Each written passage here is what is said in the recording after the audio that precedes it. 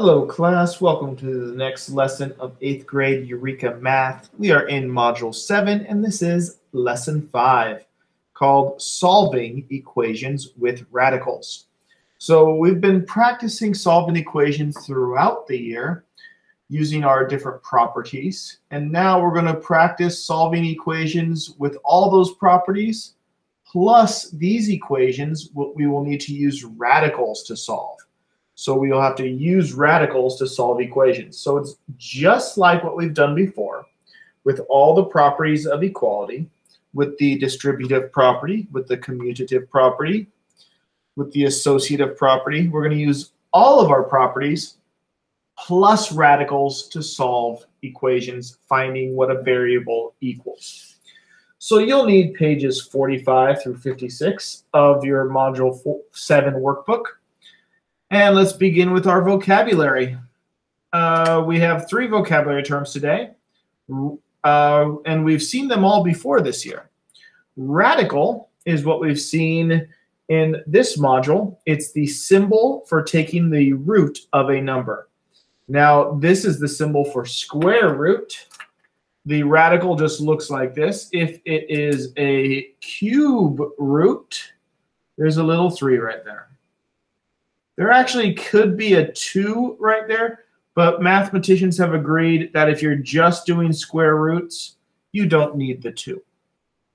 But the radical itself is this thing. Looks kind of like a check mark. Looks kind of like a division symbol for long division. But that is the radical. We also have the properties of equality. And when I talk about the properties of equality, I'm talking about all of them the addition property of equality, the subtraction property of equality, the multiplication property of equality, and the division property of equality. Those are the four basic operations, and they are how we make an equation stay equal. It, we use the properties of equality to keep an equation equal, and we do that by changing both sides in the exact same way both sides of an equation change in the exact same way. So if I subtract on one side, I have to subtract on the other because it has to be equal. If I multiply one side, I have to multiply the other side to stay equal. And so we use the properties of equality. We've been using them since early in the year. We're going to use them again today. Another property I want to remind you about is the distributive property. The distributive property means multiplying a sum is the same as multiplying by the addends or the pieces of the addition sentence. So let me, I wrote an example right here using variables. I can add B and C first and then multiply by A. That is one option. I could do B plus C and multiply by A. Or I can do A times B and A times C and then add them. I get the same answer. That's the distributive property. Distributive property means if you want, you can just pass the A to the B, pass the A to the C, and add after multiplying. The distributive property tells us that in an equation like this, you can add the pieces first, or you can multiply first and then add. So uh, this shows you the distributive property just shows you that this and this are equal. Really helps us when we're trying to solve for variables and when we're trying to solve equations. So what are we doing today? Today, we will use our knowledge of square and cube roots. In lessons two, three, and four, we talked about square and cube roots. We're going to use what you learned in those lessons to solve nonlinear equations. And remember, nonlinear equations are when exponent variables will be 2 or 3. Uh, really, the exponent variable is anything except 0 or 1. Remember, linear equations have a 0 or 1 exponent. Nonlinear have other things. So throughout this year, at least for a while, we have been solving linear equations, finding what x equals. or finding what y equals. Today, we're going to start with nonlinear equations, where the exponents have diff where the variables have different exponents. So let me show you how we're going to do this.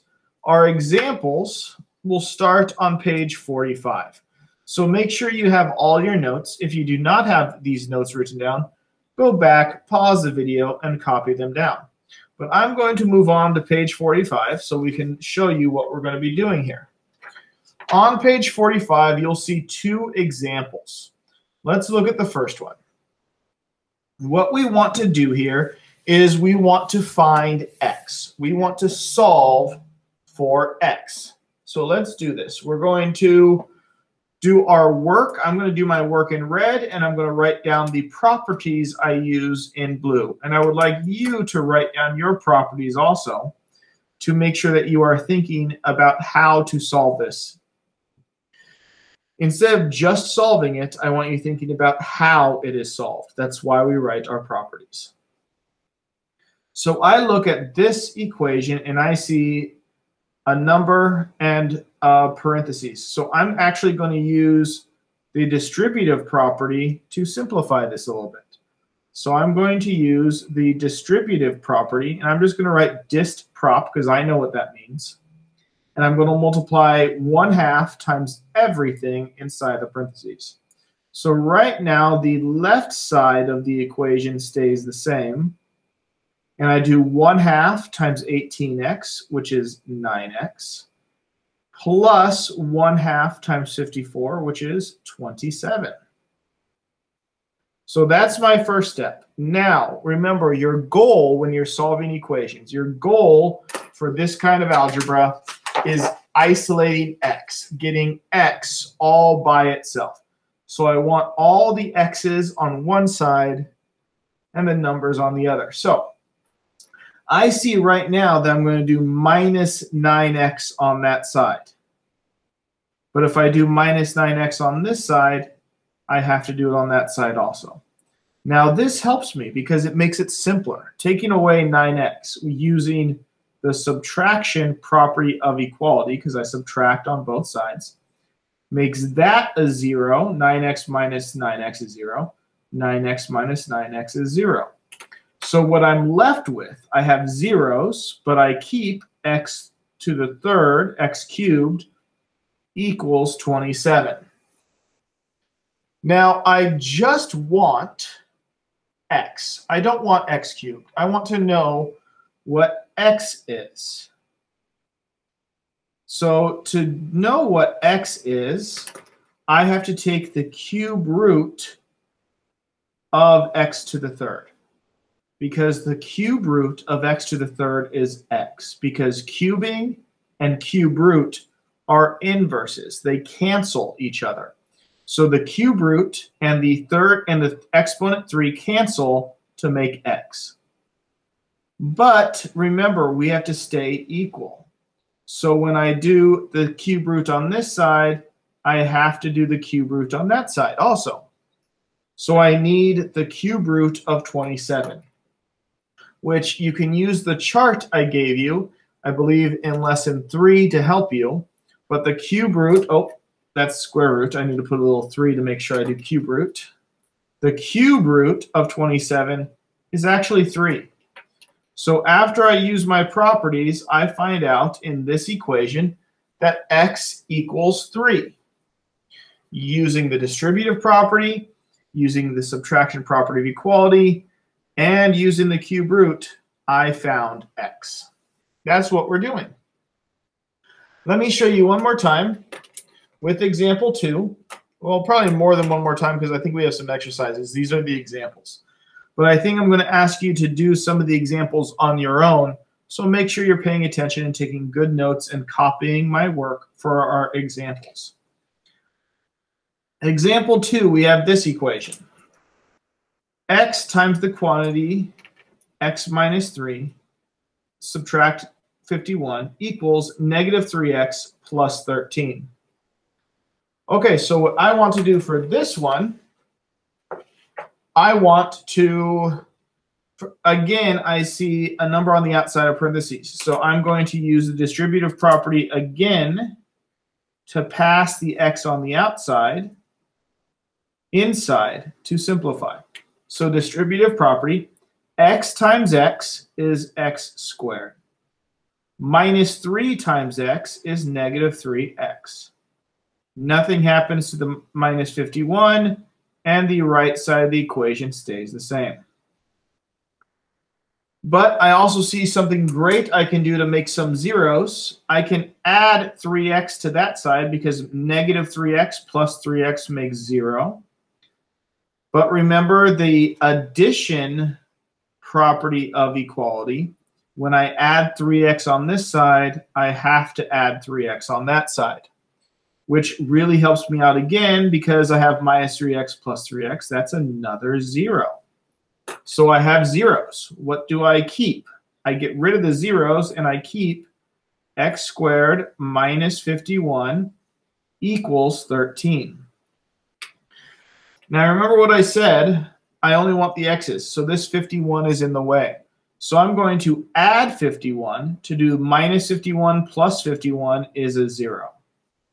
But again, I need to use the addition property of equality and add 51 on the right side also.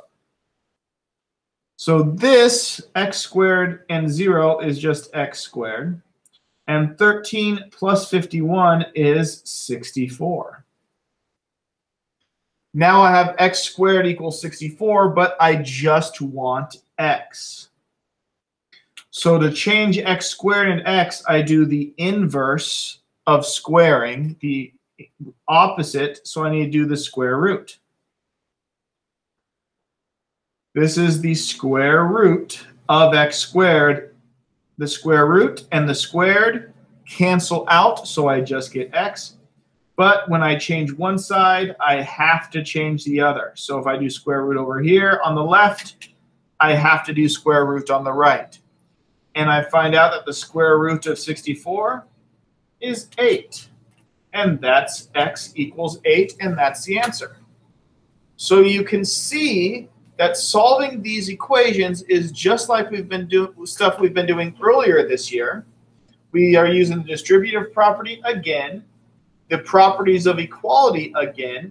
The only new thing is we're using square roots or cube roots to simplify the x. So that's the really the new thing that we're doing today. We're just adding a new tool to our equation solving toolkit. So let's uh, check out what the exercises look like. Exercises are on page 46, 47, and 48. So we got three pages of exercises. Let's see how we do this. So Find the positive value of x that makes each equation true, and then verify that your solution is correct. So it wants us to solve these equations. Now, if you'll notice something I want to point out, part A is solving it, and part B is explaining how you solve it. We are already doing the explaining when we solve it. So the way you explain is showing, writing down the properties you use.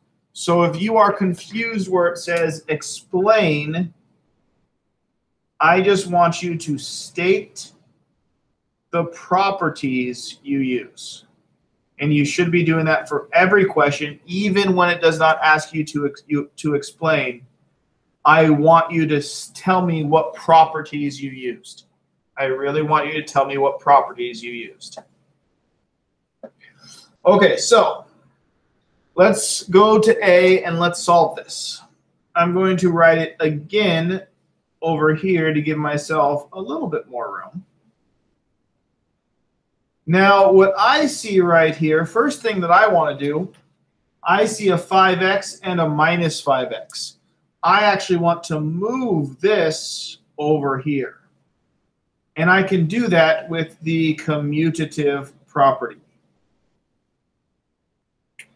What happens is the left side stays the same because I'm okay with that right now.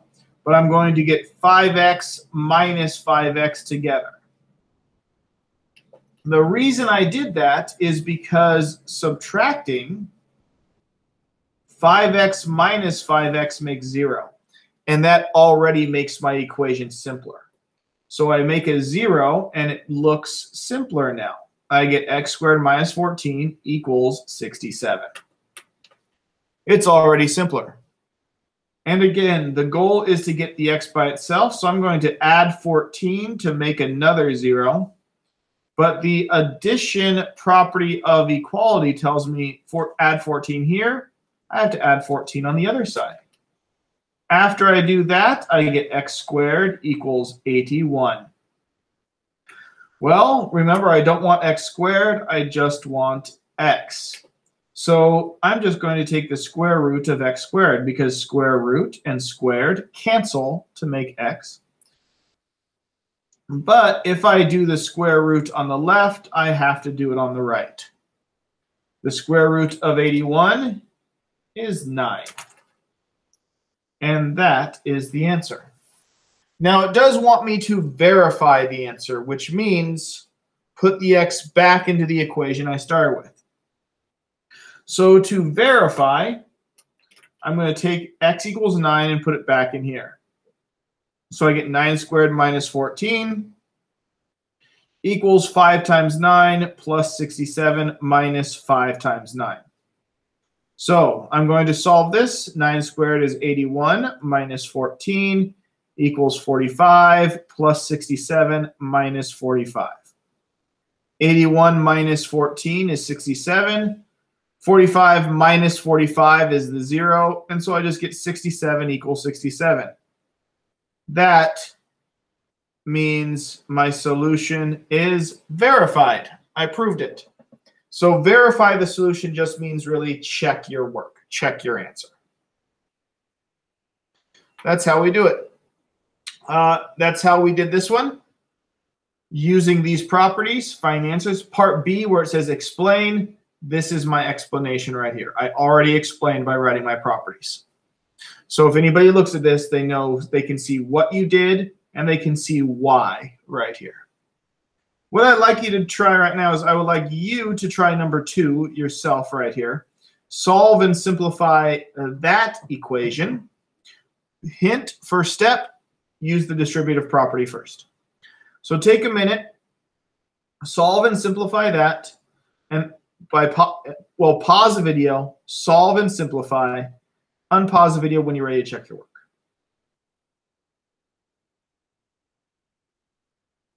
Okay, so hopefully you pause and you're ready and you did this. Let me show you how I would do this and we'll see if you got it.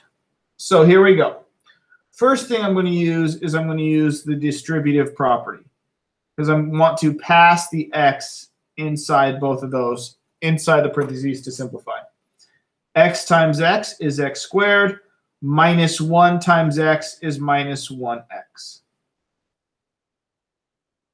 Now I see something on both sides. If I add x there, that turns into a 0. And the addition property of equality tells me I have to add x here, and I get another 0. So first, you should have done the distributive property. Then you should have made some zeros so that you keep x squared equals 121. But remember, we want simplified, solved, so we just want x. To find x, remember, we take the square root of x squared because square root and squared cancel. But if I do square root on that side, I have to do it on the right side also.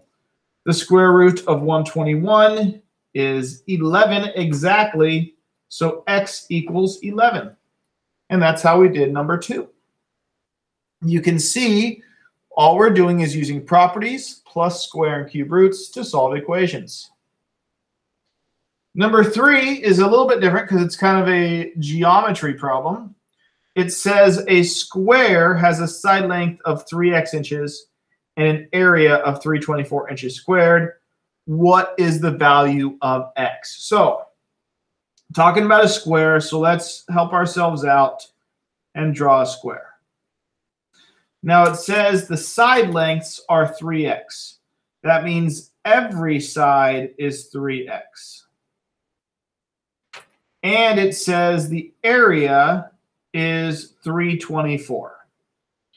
Well, in a square, what is the formula for area? Hopefully you remember that in a square's area is length times width. Well, the length of the square and the width of the square, square's length and width is the same, they're both 3x. So to find the area of a square, I do length times width. So let's put this together. I have area is 324. I have the length. I have the width. So let's make our equation. Our equation is going to be area equals length times width. So 324 is A. Length is 3x. Width is 3x. That's my equation that I'm going to use to find x. Let's solve this. The first thing I'm going to do is multiply. Well, actually, the first thing I did is I substituted to get my equation. Now I'm going to multiply 3x times 3x. So I get 324. And I do the part separately. So 3 times 3 is 9. And x times x is x squared. So that's the first step. Now I have 9x squared. I really just want 1x squared. So how do I turn the 9 into a 1? Well, I divide by 9. But the division property of equality tells me if I divide by 9 over here, I have to divide by 9 there also. So I have to do 324 divided by 9, which I believe, if I'm correct, is 56. But let me get out my calculator just to double check and make sure I'm not lying to you. 324 divided by 9, oh, is 36. Oh, I misspoke. So I get 36 equals x squared. But remember, I don't want just x squared, I want x. So I need to take the square root to cancel the squared the square root cancels the squared. And if I do square root here, I have to do square root there. And the square root of 36 is 6. We learned that in lesson 2. So x equals 6 is the final answer to that one.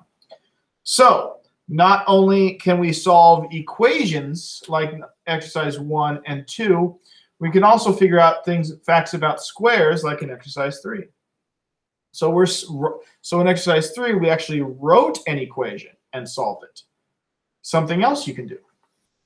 Let's look at page 47. Ooh, more equations. So what I'd like you to do right now, we have three equations to solve on page 47. I would like you to solve them. Pause the video, solve all three, and then come back and check your work to see how you did. So pause the video now, and then when you come back, I'll show you how I did it. Okay, so you're back because you tried exercises four, five, and six. Let's see how you do. I'm going to do them myself right here. Uh, first thing I'm going to do on this equation, I'm going to do minus 14 on both sides to make just to keep the x term by itself. That's great because I also make a zero there and I get the x term by itself. But the subtraction property of equality tells me I need to do minus 14 over there also. So on the left, you should have kept negative 3x to the third. And negative 67 minus negative 14 is negative 81. Now I just want the x to the third for my next step. This negative 3 is in the way. So I'm going to divide by negative 3 because negative 3 divided by negative 3 is 1.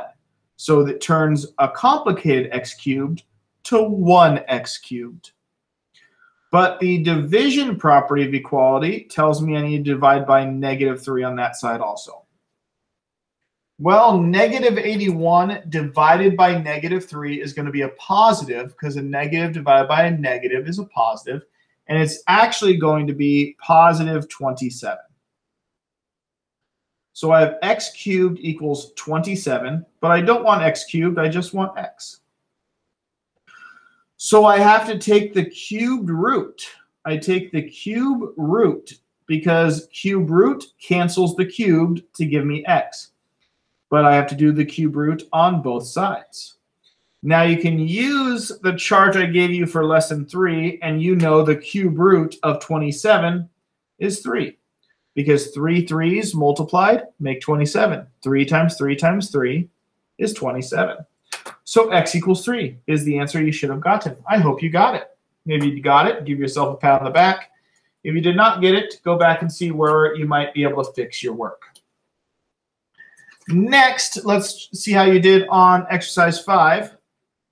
Exercise five, oh, it looks like this. I want to use the distributive property. I want to use the distributive property, and I'm actually going to use it on both sides of the equation because they both have parentheses multiplied by a number. So after, let's do the distributive property on the left first. x times x is x squared. x times 4 is 4x and I keep minus 3. 4 times x is 4x. 4 times 19.5, uh, ooh, 19.5 times 4. This is where you can get a calculator you want. I'll try to do it in my head. Let's see. 4 times 20 is 80. 4 times a half is 2. So 80 minus 2, I it is 78. Now I did the distributed, distributed property. I need to start simplifying. Uh, let's make the 4x's go away, shall we? I'm just going to do minus 4x on both sides. And I do it on both sides because that's the subtraction property of equality. But doing minus 4x here makes a 0. And minus 4x here makes a 0. That simplifies it a lot. I get x squared minus 3 equals 78. Still not simplified enough, you said, hopefully. You probably should have said, okay, I want to make that negative th minus 3 go away. So I'm going to add 3 to make a 0. But the addition property of equality told you that you have to add 3 to both sides. So you should your next step should be x squared equals 81. And then when you were working on this, you said, I don't want you don't want x squared, you want x. So to cancel the squared, you need to do the square root. Put a radical there. And you need to do it to both sides because this is an equal equation. Then you have the square root of 81. So, well, the square root of x squared is x, and the square root of 81 is 9. So you should have got x equals 9. That is your answer. I hope you got it. If you did not get it, Go back and check what you did. If you did get it, excellent work. Give yourself a high five. Then you, after you tried exercise five, you tried exercise six. Let's see how I would solve this. Well, the first thing I'm going to do, I see parentheses, so I'm going to use the distributive property. That should have been the first thing you did. So the left side of the equation stays the same. Then we distribute on the right. x times x squared is x cubed. Minus 5 times x is minus 5x. Then we get plus 6x. Well, what am I going to do now? Well, I'm looking at this and I see, well, I have a 5x and a, a minus 5x and a 6x. Let's put those together. Let's just add. Let's add those like terms next to each other together. So the left side stays the same, the x cubed stays the same, and negative 5x plus 6x just gives me 1x. Gives me 1x. Negative 5 plus 6 is 1. Then I can find some zeros.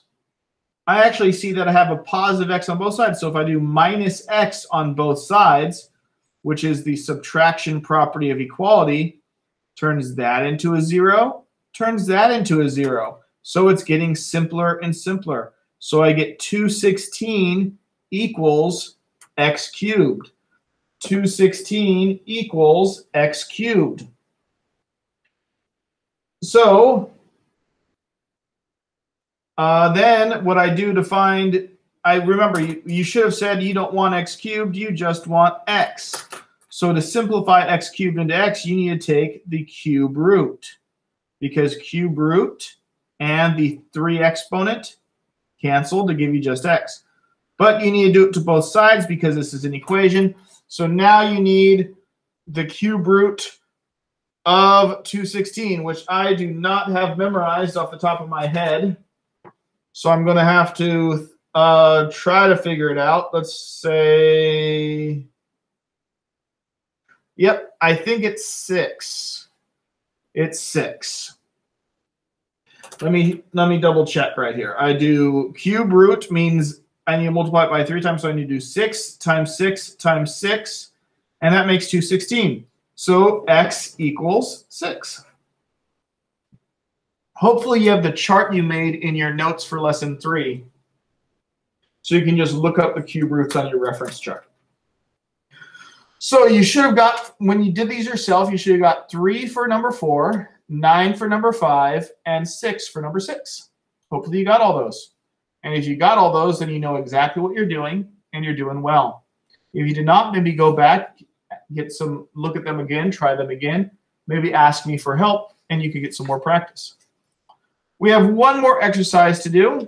Exercise 7 says, what are we trying to determine in the diagram below?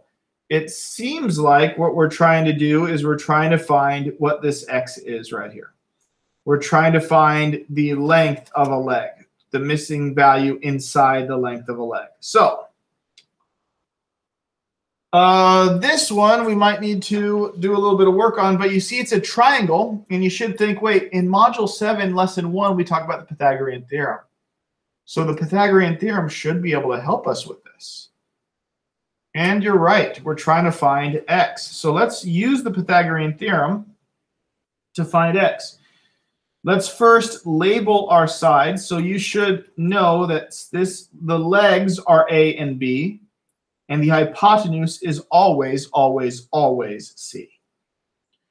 And the Pythagorean theorem is A squared plus B squared equals C squared. And then we substitute. So first thing I'm going to do is substitute my values. So I said A was 5. B was 4 times the square root of x. So that takes the place of B. And C is 11. Well, let's uh, multiply using our exponents. 5 squared means 5 times 5, so we get 25. Now, to do this one right here, we separate it. We do 4 squared times the square root of x squared. That's how you can separate the ex the exponent with the pieces right there. 11 squared is 11 times 11, which is 121. I'm going to multiply again because I split my parentheses. Four, I split the 4 and the square root of x. So let me do that right now. 25 stays 25 plus 4 squared. 4 times 4 is 16 Square root of x squared, that's a square root and a square. So they cancel. So I just get x equals 121. So I get 25 plus 16x equals 121. So now I'm going to use the subtraction property of equality to do minus 25 on both sides and I do minus 25 on both sides because I want just the 16x by itself. So that turns into a 0. So I get 16x all by itself. And I do minus 25 on that side, which gives me uh, 96. Now you should say right here, we don't want 16x, we just want x. Well, how do we turn 16x into 1x? We divide by 16. But the division property of equality tells me I have to divide by 16 on both sides. Now, I believe the answer, now 16x divided by 16 is 1x. I believe 96 divided by 16 is 6, but let me check.